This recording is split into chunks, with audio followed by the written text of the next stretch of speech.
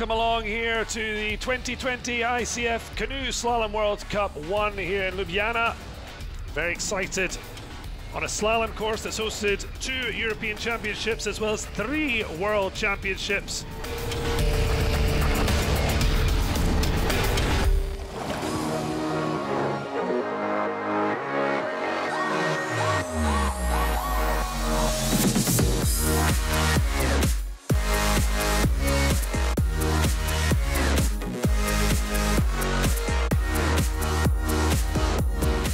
I feel so happy to finally join the community and deliver an event that has been three months of uh, non-ending meeting, video conference, uh, contact with the authority, us organizing committee very, very, very eager to deliver the event. At this stage, it's already an achievement. We are here. The start field is certainly not the one we would expect uh, for World Cup, but uh, I think the most important point is we give an opportunity to competitors to meet and have a new challenge for almost the first one for this season, except for the European. And the second thing is that we are certainly testing, unfortunately, a procedure that we will have to live with for a few months, if not few years, in the coming uh, time. Me as an athlete, I'm happy that we're having a race, but the conditions are really strange. Yeah, a lot of athletes didn't come because of the situation in Europe and around the world. And I also took some some time off after the European Championships, so I'm also not in the top shape. So for me, it's also a bit harder to, to get in the feeling for, for the racing.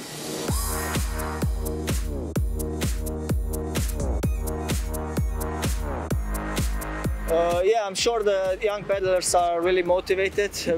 Every chance they get, they try to uh, use it and try to perform good. But for us uh, older athletes, you know, it's uh, it's hard to motivate to go on the start. But I try to do what I can in these conditions that I am. I just hope I will feel better at least to do two good runs. If that brings me a good result, I will be happy. If not, I will be just happy to be to this season to be over.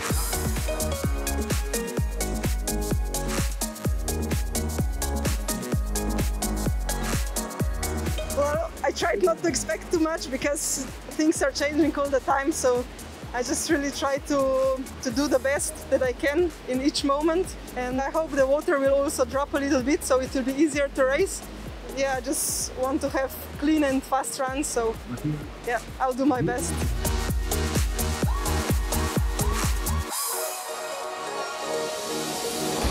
Bertrand Gutierrez alongside me. The semi-finals now, it's very much a reset. Yes, exactly. It's a reset if you compare that um, at the semi-final. Well, Camille Prigent is hoping for a golden finish, but the only person, only woman who could stop her is her cousin. So family Exactly. rivalries really the story here. And she was the fastest in the semi-final, but can she convert that to gold? I'm sure she can. But it's also the hard position when you start last for the final. You won the semi-final, so you have a lot of pressure, but you have to control that when you are uh, an athlete. And she's doing okay. The first part is a little bit late, but it's okay. So it could be real heartbreak for Slovenia if Prigent makes the podium. They'd have two just off. Up, up, up. Yeah. How aware are you in the boat of your time? Do you have any idea that how your time is, or are you just focused No, on the no, run? you, you stay focused only about your line and your project, you know. The time's coming after. Oh, that's a good run at the moment. She's doing Bertrand well. getting excited. That's pretty cool. Go, go, go, up, up, up. French gold is assured, but will it be which cousin? Yay, that's a good run. Well, she's not just one. she's Yay! absolutely smashed it. That's 1.88, good. faster than her cousin. Amazing.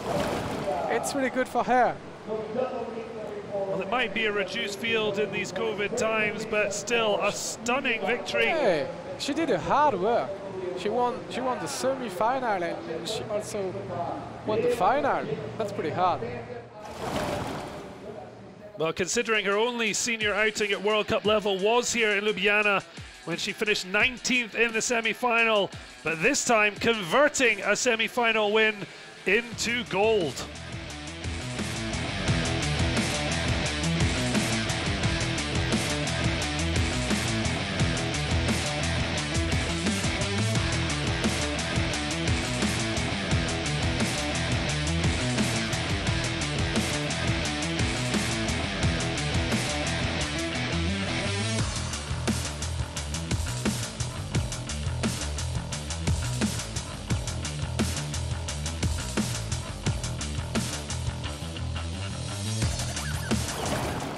Like uh, some good race this morning, already in the semi, and now I did it again, so I'm happy, really happy. At the top, I was a bit low in the seven, but then at the end, I was like, I need to paddle if I want to win, and that's what I did. So here's the rundown. America kicking things off with Michal Smolen and Joseph Lucas Huero Malo Camino. So Sved Kuda Marasik for the hosts.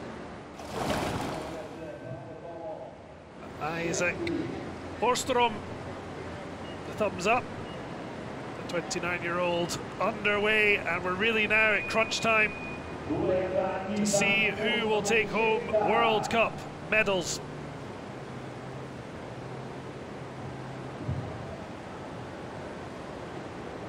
I certainly said there was a lot of rain yesterday, the higher waters, lower today, but it may be slightly easier as Commodore said, but as we've seen, it's the latter part that's really been the deciding factor. His line at the moment, it's okay. Just he's a little bit less aggressive than Pedro, but still a good line and Still in contention, but it's, uh, exactly. and this section is the most important section right now. I suppose when you're a bit more careful than speed, you, you really can't afford a penalty because Yeah, you've not got the speed to Yeah, make up for it. You control everything, but it's also the risk because you have to take a maximum risk to win. And I think it's a good time. Oh, it is Oh, that's 0.93.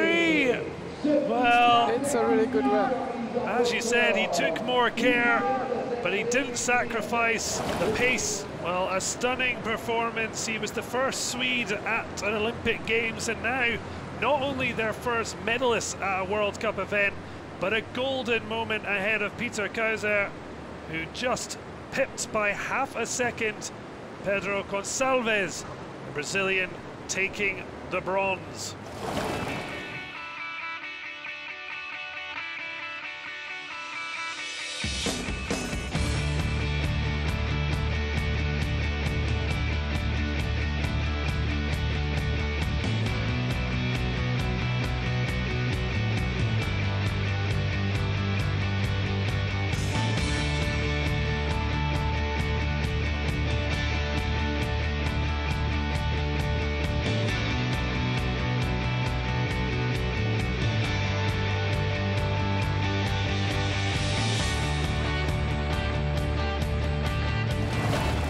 Amazing, yeah.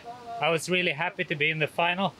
It was four years since last time on on this course as well, and uh, yeah, to put in a good run was really nice. Uh, as a Swede, I think it's very important to show that we can be in the in the top and to share a podium with Peter Kauzer. That's just unreal.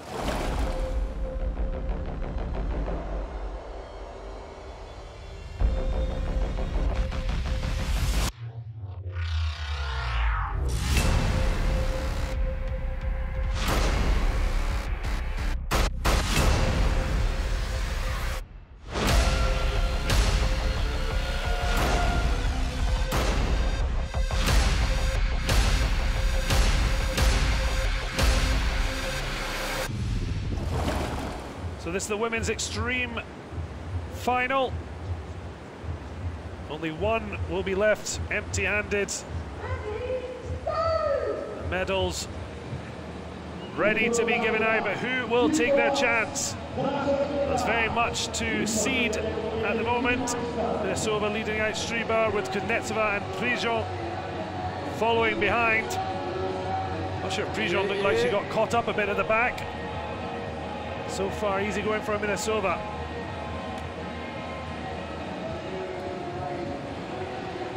It's a big fight on this final.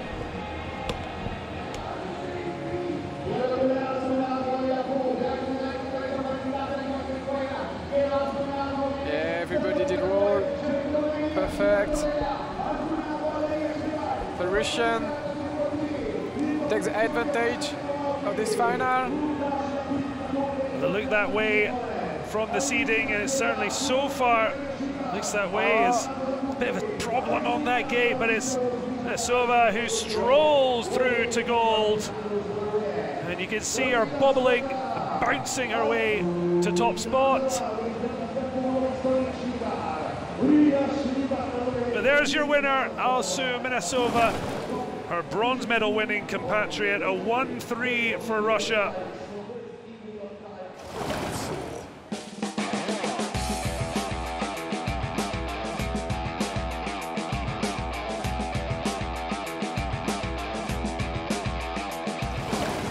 It was really good race uh, with uh, really strong girls. It was aggressive, a very interesting run. Men's K1 final, can Martin Stanovsky, Max Carlsen or veteran Tren Long of America make it an upset? Yeah, Pepe won every run today. Underway. There we go. And Gonçalves almost, you saw Oh. A just looked like he had a good line and it just Yeah. just ran away from it. Look how powerful Pepe is. Decides to go on the far side. There is a fight between these two, two guys. Stanovsky not giving up the fight. The other two Yeah, long. yeah. Oh, well, they're. Oh, that's a fight. Tren Long seemed to have absolutely ended Stanovsky's chances. Everybody decide to take this up on the left. Suppose traffic jams in extreme kayaking is uh, part of the danger. Yeah.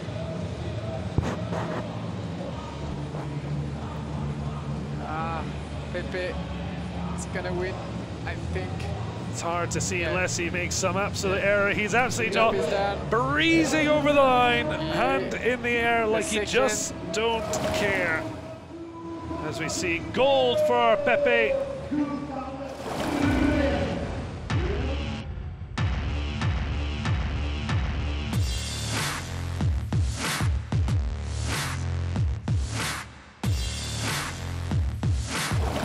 I tell I'm super happy because I get like silver medal two times in the World Cups in stream, uh, bronze medal in the World Championships in stream.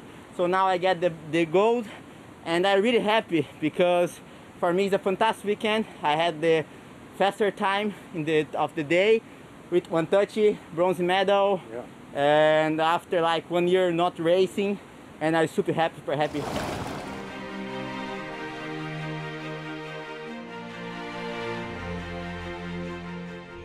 My name is Marjorie Delassus. I'm a 22 year old paddler in canoe and kayak, and I just qualified for Tokyo 2021 in C1. I was born in the Alps, so basically we tend to ski more. I started kayaking at school with my little sister. We immediately were hooked. My two other siblings started also. Now we're all kayaking. Then we moved to Pau to join the young sports school. Obviously, with the COVID situation, it's been difficult to train. I was lucky I was quarantined with my family. So, with my siblings, we practiced together. And it was challenging. After lockdown, I went back to the French sporting school to train there every day with the group. It's true that the postponement of the Olympics was a good opportunity for me. Olympic qualifications are normally held in March. I thought it was going to be very difficult. It was a great plan to train for this year, and it worked, so great.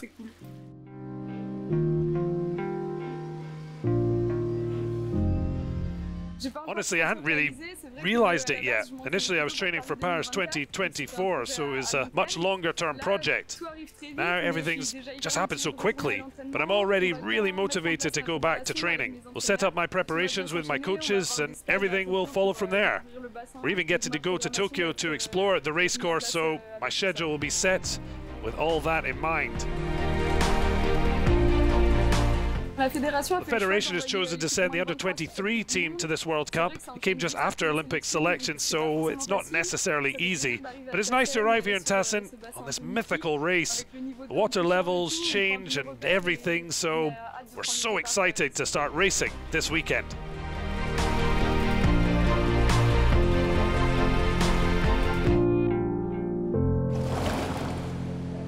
Here is the start list. Victoria Dobrotvorska going out first.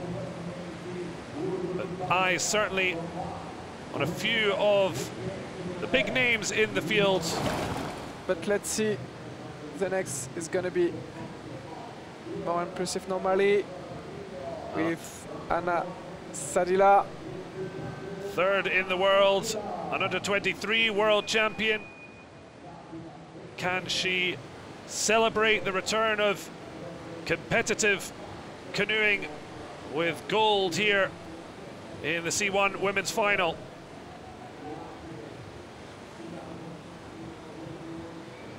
First section, it's okay. She decided to spin on this gate and she's early on the ah too early apparently she's a little bit tight and she touched it well, a nine-time World Cup medalist, although her only two golds have come in the Extreme K1 back in 2018. One of those won on home water in Rio.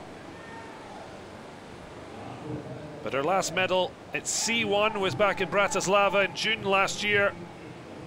Still battling for podium here in Slovenia. She's spin gate 30 and she hit the rock hit the bank. She's a little bit late right now, four seconds behind with plus two penalty.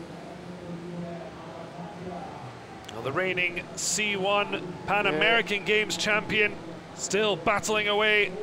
She's fast on the last part at the moment. Let's see the last up. She's tight. We saw Liv Farth be a lot further away, so she'll certainly picked up some time there. Yeah, I think she will lead Yes, one second point seven. Well, it's all smiles. Still, maybe disappointment. She maybe hoped to put a little bit more pressure yeah. on the paddlers to come. Disappointment in the K1 final, a missed gate, ending her hopes of a medal and a potential gold, but she's finished with a golden flourish in the women's canoe final. Lucie Prigent in silver with Evie Lebfarth making it double bronze in her weekend here in Tacen.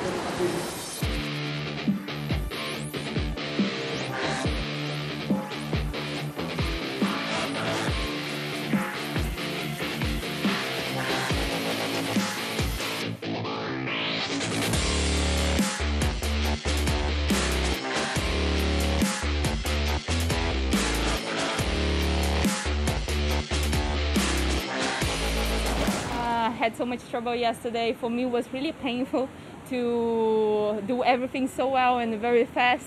And in the last gate to have a penalty, and uh, that cost me everything. So uh, it was, I had trouble to recover from that, but I was like really focused on my run today, and uh, I wanted to do much better. But finally, to leave with a gold medal for me means so much. So I'm really happy. Now it's the men's turn, certainly plenty of focus on the Slovenian pair of Luka Bozic and Benjamin Savsek, the European champion, but it's Nicolas Gestin of France who was the quickest in the semis. Well, the first of the two big home hopes, Luka Bozic, 2018 World Cup final gold medalist. Can he repeat that feat here on home water? That gold in the C1 came at the Seu d'Urgell in Spain on the Parc Olympique del Segre. Say back in September 2018, over two years later, after three podium finishes in 2019, can he find himself a way to top spot? Yeah, this guy is really talented. He have experience as well, and he's at home, so he have everything to be confident and to flying on the water. And he's doing well at the moment. Let's see, gate number 13. That was fast, tight. He's a 13-time medalist at World yeah. and European Championships. Uh, most recently, that bronze in the C1 World Final in 2019. 1.2 seconds faster than Jules Bernardet. Bernardet beginning to sweat as Božič turns up the heat in this men's oh. C1 final. Let's see. I think he's fast. It's gonna be lead with a time Well, it's sub 80 seconds, but bashes it. The time of Bernardet you said at the beginning that 78 seconds was around the time you'd expect for certainly a medal, potentially gold, and Božič has really laid down a marker for the final two paddlers. Stunning from the Slovene, taking gold ahead of the French pairing of Gestin and Bernardet.